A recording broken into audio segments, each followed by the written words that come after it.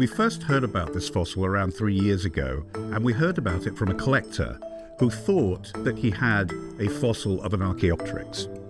The Archaeopteryx is the missing link between birds and dinosaurs. It has features on it that are bird like and features on it that are dinosaur like. So it's probably the most significant scientific acquisition that we have ever made. There are only 12 of them that are known about so far. We had to take a bit of a risk with this specimen because most of it was still buried in the rock. And what we found out after a very painstaking process of uncovering it from the rock that is perhaps the best preserved Archaeopteryx ever found.